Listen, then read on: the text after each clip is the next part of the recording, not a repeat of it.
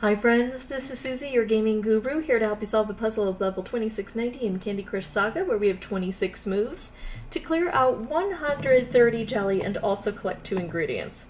So it looks like the ingredients are up here and we have to get them down here, but there's a lot of barrier in the way. If you find these videos helpful, I'd that you consider liking and subscribing. That in turn would help me out. So first let's talk about the board in general and then let's look at the moves we have as possibilities. In order to get from here down to here, I've got to get through toffee and candy coats on toffee. Really difficult. Plus, before I can even let this descend, I've got these candy curls, three layers thick, wrapped around here I think would be really, really good. All right, and that's just to get the ingredients. Then let's talk about the jelly. We've got toffee, we've got chocolate, I'm sorry, toffee, we've got um, licorice, we've got chocolate, we've got licorice locks, we've got sugar chests, so we need to collect these sugar keys. We have got frosting, we have got cutouts, we have got candy cane fences. What don't we have? Uh, it's a rhetorical question. I don't need the answer. Um, all right. And I say to get through to the jelly, but also these blockers prohibit me from being able to work effectively to bring the ingredients down too. If I do this move, that seems good, right? It's a striped candy. At least it can start me on my path. But no, it's a trap. Because look at this right now the chocolate cannot get to us. It cannot grow in any way. It can't expand on the board. Once we take out some of this licorice, then it can grow. If I make this move, it takes out the crystal candies, which is good. It makes a stripe, which is actually neutral because it doesn't matter what's made. It would take out this licorice, drop down to here. This would be the only chocolate that could grow and it would only be able to grow in one place and that would be to cover over that stripe. I don't think that's the best way to start the board. I might want to use that, but I'm going to first give the chocolate a different place it might choose to grow. Now if I do this, I might be able to hold on to that stripe. Oh, that was nice. We actually had a, a bit of a bounce on that, a cascade that allowed us to actually use that stripe. Now we see we've got a frog and we've got some stripes. That's good. I don't have any good moves here. So I'm taking some bad moves and hoping to try to get some better moves with setting things up. All right, there. That reshuffle helped immensely. And so did that bump there. Now we still have chocolate growing. I can do this stripe to get rid of that chocolate. It messed up what I was trying to set up over here, but I don't think that what I was going to set up there was going to be particularly helpful.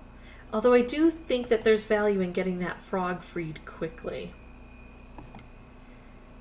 Um, I also really want to get these keys. And I think that's my mistake, is I'm not focusing on what I need to do first. And I think it's to get to those keys. Okay, so there. Now we've opened up the board. Oh, and now I have a little bit of a gift here. Yeah, that's going to help me really take out a lot. And maybe these candy curls, or at least some of this toffee here. And also everything that hits the frog and then also hits green helps to fill that frog. Let's make that. I really want her to get on the move. I don't have much of a chance to do that yet. So I'm also looking for other things that might help on this board. I was going to try to fill her and then move her into one of these areas because I think she'll easily go on a toffee and erase that entire five layers. Um, however, I don't seem to be able to hold out to, to get that done. So let's pair this. Ah, didn't quite work that way either, did it? Very volatile because we only have four colors. Now at least I can get her filled, right? Eventually. Here we go, stripe draft combo. Let's see how valuable this is. Okay, so now we have this. I'm going to test the theory that we can put it on a toffee. We only have four moves left. The chance of me actually winning isn't good. But look at this. We have three layers there, and I can get rid of all of those layers plus bounce onto that toffee. Uh, I haven't also used the stripes in here. And I think there are two reasons uh, that this has gone so poorly. One is that I just haven't played it well, and that happens when we don't know the board well. Another is that I think I just had some bad options in the beginning. And so even if I had played super well, I, I don't know that I could have won this one. And that's okay. All right, so I'm going to take out all blue because it's going to have the most value. I can see now that uh, taking out those candy curls can be done by hitting this. So I could either take out blue to do this or actually orange would be better. Let's take out orange because that will set off these blue. It's not like I'm trying to fill the frog. At this point in time, the frog isn't going to help. Let's see how far we can knock this down. Now also notice that the I placed the frog here, and the frog is an impediment to the ingredient. So if I don't have enough turns to move the frog away once I place her, then she becomes a problem instead of a help. All right, so let's take out all orange. And then what I'm going to do in the future, let's before I make that move, I want to discuss how I'm going to start this next time. I am going to work on clearing everything out here because I think it's going to give me better access to those keys. I want those keys immediately, and I want to get the frog much more quickly than I did. I only want to move her over here if I've got a fairly decent chance of getting a color bomb or something that I can match to fill her so that I can move her out of the way. Uh, and I want to focus more on what these stripe dispensers can do for me. And when I come back, I'll have the microphone turned off, but I will bring it back up when I have something important to share. Okay, so 11 jelly, the two ingredients. If I can get rid of all of the jelly, presumably I would get rid of the ingredients, unless I do something like silly, like leave the frog there.